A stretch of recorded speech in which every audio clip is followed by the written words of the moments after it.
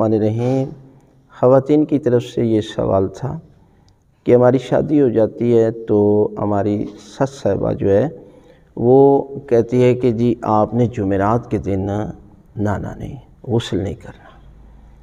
کیا یہ شریعت میں منع ہے؟ تو یاد رکھیں، ایسا کوئی مسئلہ نہیں ہے۔